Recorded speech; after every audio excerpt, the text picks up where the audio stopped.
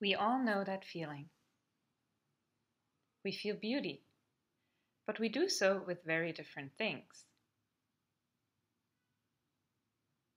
The question is what do they have in common? Obviously, it's not about the objects, so it must be about the experience. What is going on in the mind? What produces beauty? We find that beautiful things are also always a pleasure. When you look at something unpleasant, or if you are not able to feel pleasure, you will also not feel any beauty. But there is more. To feel beauty, you also need to be able to think. How do we know? We did the experiment. Well, psychology experiments.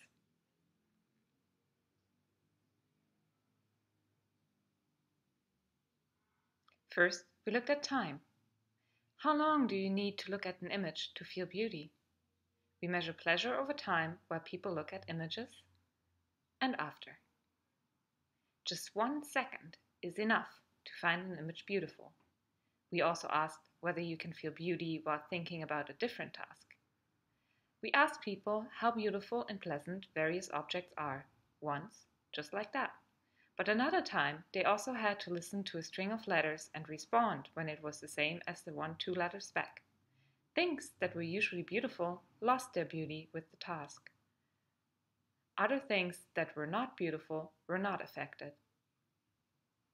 In most experiments, we show you one image at a time, but that's not real life.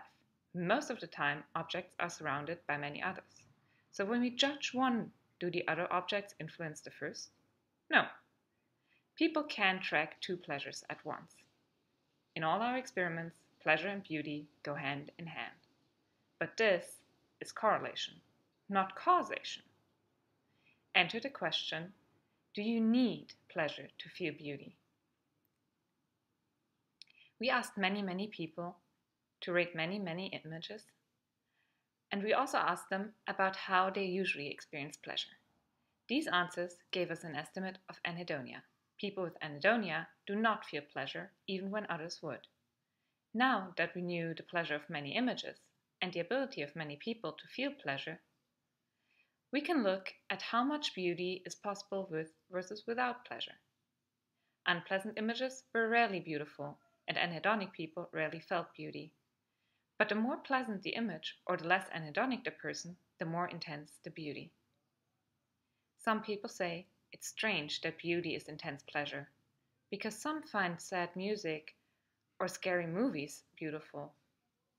But I don't think it's strange at all, because you can know that a thing is not pleasant, and yet you can appreciate that it looks beautiful.